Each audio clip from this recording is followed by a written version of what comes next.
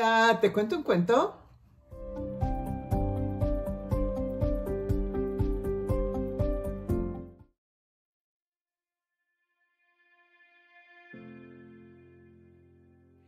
Una noche, cuatro estudiantes universitarios estuvieron de fiesta hasta altas horas de la noche y por lo tanto no estudiaron para un examen que tenían previsto para el día siguiente.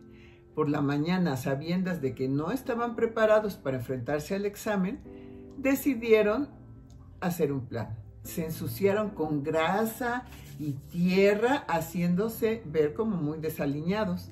Después fueron al despacho de su maestro, que les iba a practicar el examen, y le explicaron que el día anterior habían ido a una boda y en el camino se les había ponchado una de las llantas y que a falta de refacción tuvieron que empujar el auto por varios kilómetros hasta llegar a la casa de uno de ellos. Por lo tanto, le argumentaron a su profesor que no estaban en condiciones de realizar la prueba.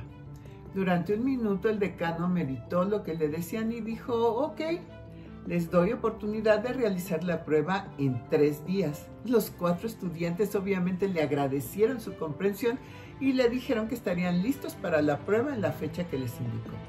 Al tercer día comparecieron ante el profesor, quien les indicó que como se trataba de una prueba bajo condiciones muy especiales, dadas las circunstancias, los cuatro deberían sentarse en aulas separadas para la prueba.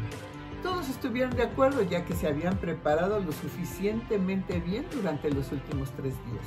La prueba constaba de solamente dos preguntas para un total de 100 puntos. La primera pregunta con valor de un punto decía, escribe tu nombre. La segunda pregunta con valor de 99 puntos decía, ¿cuál de las llantas se ponchó? Marca la opción acertada. A, delantera izquierda. B, delantera derecha. C, trasera izquierda. D, trasera derecha. Seamos muy felices siempre